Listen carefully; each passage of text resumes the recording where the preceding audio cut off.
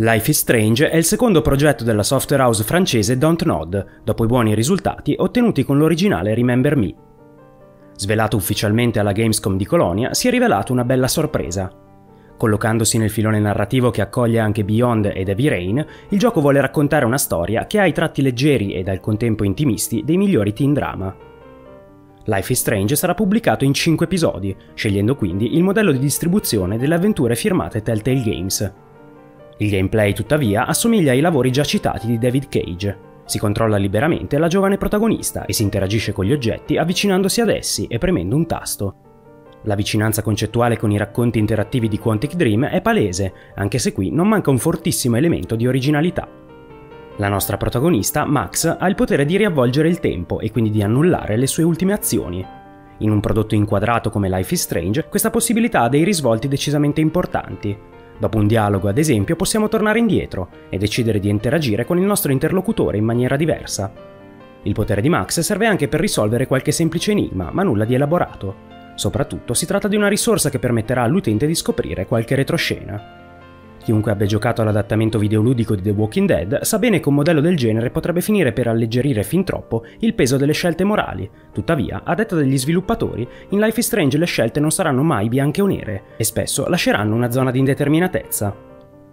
Al di là di questo, Life is Strange non sembra preoccuparsi troppo delle biforcazioni narrative. Il suo obiettivo principale è quello di raccontare una storia e farci scoprire i tormenti interiori dei personaggi.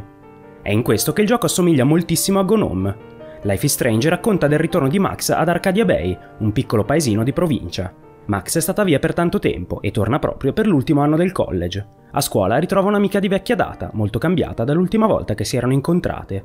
Come nel capolavoro di The Fulbright Company, anche qui gli oggetti hanno un'importanza fondamentale.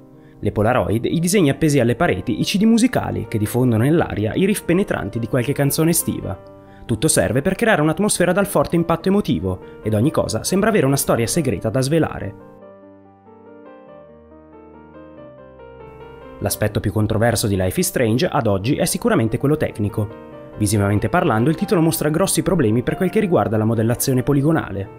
Il team prova comunque a giocare la carta dello stile. Tutte le texture sono disegnate a mano ed in certi casi gli scorci visivi trovano un accordo con questa tecnica particolare. Il team dovrà quindi sforzarsi per aggiustare le animazioni meno efficaci, la modellazione facciale dei comprimari ed aggiungere qualche filtro che renda le scene più pulite.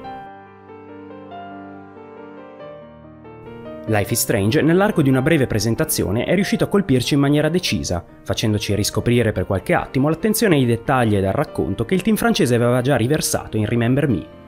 Chiudendo un occhio sulla componente tecnica, il titolo è ispirato e originale, se non nella struttura, almeno nel contesto, nella tensione emotiva di un racconto adolescenziale e persino nella gestione del flusso temporale, che potrebbe aprire risvolti interessanti.